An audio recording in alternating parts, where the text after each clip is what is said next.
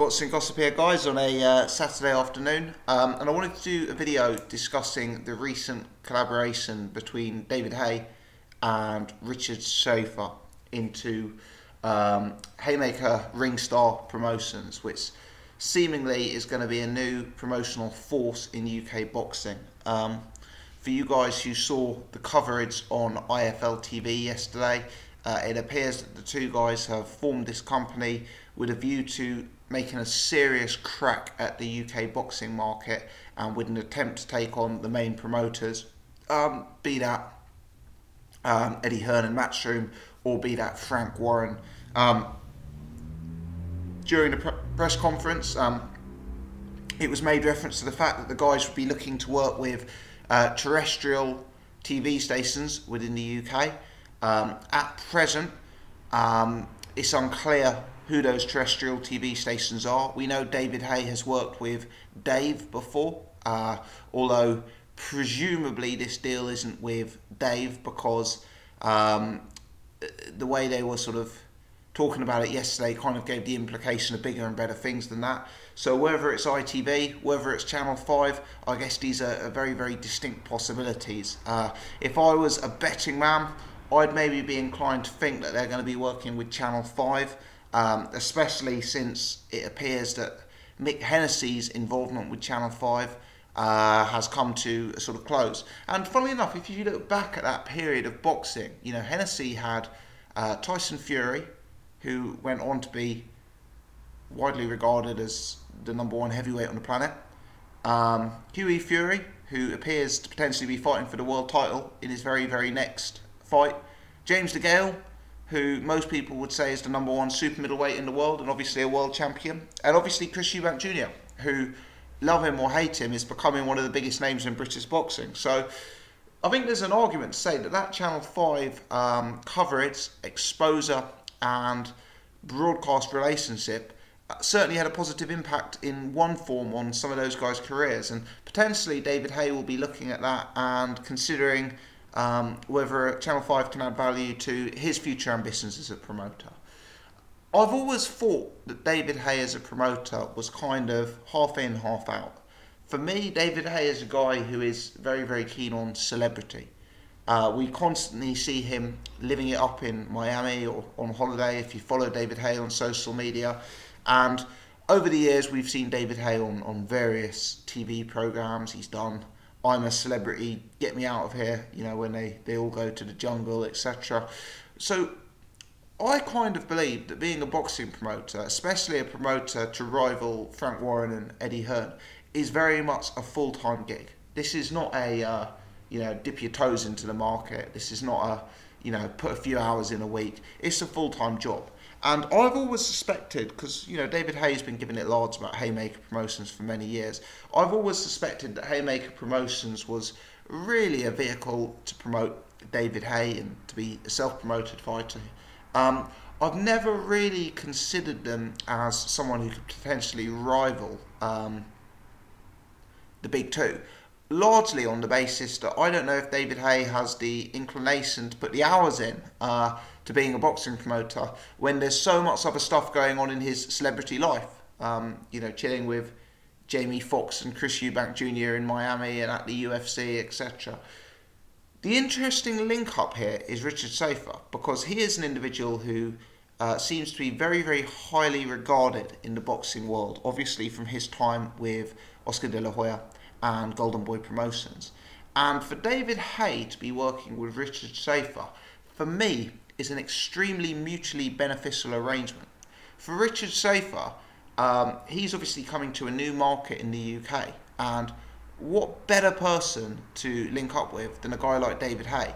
Not only a fighter in his own right, who is going to be involved in potentially some of the biggest fights in 2017 and 2018, uh, but also an individual who, as we've already discussed, does have that crossover celebrity type appeal. Um, you know, David Haye, when his name is associated with something in boxing, is going to create interest and is going to create hype. So, from Richard Schaefer's perspective, I think this is a good deal. Uh, I think working with David Haye is a very, very easy route to market within the UK. Similarly, from David Haye's perspective, I think working with Richard Schaefer in the UK is a very, very good deal because it allows David Haye to be that figurehead, you know, that celebrity figurehead who pops up at press conferences, etc. But then it also allows him to go off and train for fights and go on his holidays and do whatever David Haye gets up to. Uh, whereas Richard Schaefer is probably the one who's going to be in the office grinding out the de- deals and, and that sort of thing. Now, understand that Richard Schaefer has signed Tony Yoka, uh, the Olympic super heavyweight gold medalist who defeated Joe Joyce. That's obviously a, a very significant signing. From me sitting here, I'm unclear whether necessarily the newly formed company Hayemaker Ringstar will have any dealings with Tony Yoka. I suspect not. My instinct is that that will be dealt with by a separate and distinct company, which is Ringstar, that belongs to Richard Schaefer, and that fighters will either be Richard Schaefer fighters or David Haye and Richard Schaefer fighters. I don't know the answer. That's just me speculating. So if you know better, please leave your comments in the section below. Um, but it's interesting that they're targeting uh, some big, big marquee fighters that they've talked about to work with this new promotional company. Now, in terms of who these fighters can be, I think look no further um, than the McGuigan Gym. George Groves um, is obviously a very, very big name, and we saw him fight on terrestrial TV recently. Carl Frampton is obviously a very, very big name, um, and he's in that gym as well. Then you've got a lot of up and coming talent, you know, the likes of uh, Josh Taylor, for example, who is widely regarded as one of the uh, the hottest prospects out there. I'm not sure if Andrew Selby is working with them. I might have I might have got that wrong, but there's some certainly some some depth of talent in that McGuigan gym, and clearly, if David Haye was able to promote shows, if he was able to promote a show headlined by David Haye with you know, the likes of a Carl Frampton or a George Groves as the co-main event and Josh Taylor on the undercard. This is an event that would get boxing fans talking. Um, the other thing to factor in, of course, is the David Haye Chris Eubank Jr. link. You know, people who've been following their social media will know that the two have been spending a, a fairly elongated length of time together. Um, I find it impossible to believe that David Haye didn't at least explore the possibility of working with Chris Eubank Jr. Um, given that he was setting up a new promotional company and given that they've been spending so much time together. We also know that the Eubanks have recently started working with um, terrestrial TV with their link up with ITV. Um, could David Haye potentially have some involvement in that? I think it's an intriguing, intriguing deal. Um, I really think that the only way the Eubanks or Hayemaker Ringside can make a legitimate bid to rival the main two is if they sign fighters in bulk. Realistically, they need to be signing up um, 10 to 20 fighters of different levels, you know, but some marquee names in there.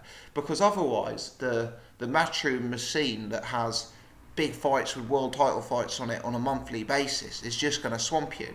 Having said that, if the Hayemakers and the Eubanks, etc., of this world, etc., can work on terrestrial TV, potentially it opens it up to a new market um, and to a new set of customers who don't pay for BT Sports or who don't pay for uh, Sky or Box Nation. You know, one thing I'm thinking about here is if you're a fighter who's currently a, a free agent, if you are, for example, a uh, well, I guess a Carl Frampton. You know, I'm, I'm unaware if Carl Frampton has uh, a, a, promotional deal set in stone. I know he works with the McGuigan's promotional company, but you know, if you were a Carl Frampton, the competition in the market has to be a good thing. You know, Carl Frampton knows he could rock up to Sky and probably turn himself into a pay-per-view fighter there. I'm sure he's aware that BT Sports, Box Nation, and Frank Warren would very, very happily work with him. You know, now he's got all these new players in the market, so competition is a good thing. Um, I also think that competition is a good thing for the public and not just the fighter. If you look at this Eubank Junior bill coming up at the Olympia shortly, you know that was a bill that got much um, you know laughter about it initially about how weak some of the uh, the fights were for the pay per view. It's actually stacked up to be a rather attractive bill. You know, Chris Eubank Jr. Love him or hate him, he's a good fighter to watch. Let's be honest. David Price in a 50-50 fight on the undercard. John Ryder, Adam Etches, a real good 50-50 trade fight. Kid Galahad in a good fight. Andrew Selby on the card. Other young prospects like Chris Kongo on the way up. You know, it's actually turned in to be a good card. And it's cheaper as well. You can buy that pay-per-view for a tenner.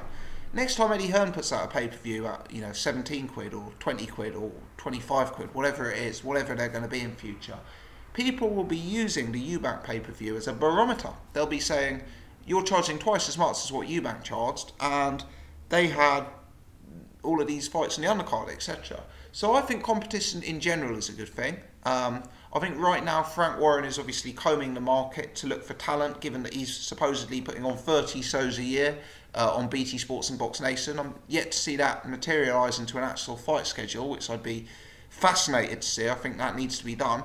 Um, but it's a very, very competitive time for boxing. And if I'm honest, the reason that it is so competitive, the reason Hayemaker, Ringstar, and that sort of stuff are actually entering the UK market I have to say, is due to some of the success that Eddie Hearn's enjoyed in the last few years. Guys like Richard Schaefer are thinking um, that the UK is a, a, really good place to come and bring business and promote, as opposed to uh, focusing all their time in the States. So, all in all, I think it's good for boxing. I think the next three months will be very revealing. Let's see, um, you know, the, the, the calendar for the start of the year is very, very strong very strong a calendar of big fights. Let's see Frank Warren announce his schedule of supposedly these 30 bills. I think that's going to be a, a fascinating addition. Uh, Chris Eubank Sr. has been talking about building a stable of fighters. David Haye's is supposed to be announcing a terrestrial partner and uh, you know launching a bid to sign numerous marquee fighters. So let's see what it all looks like in a few months. This is a, a fascinating time for UK boxing and for me is a, a sign of life in the market. Let me know your thoughts, people. Do leave them in the comments section below. If you've enjoyed this video, take the time to hit the thumbs up button. And as always, if you're new to the channel, please do subscribe. Many thanks indeed for watching.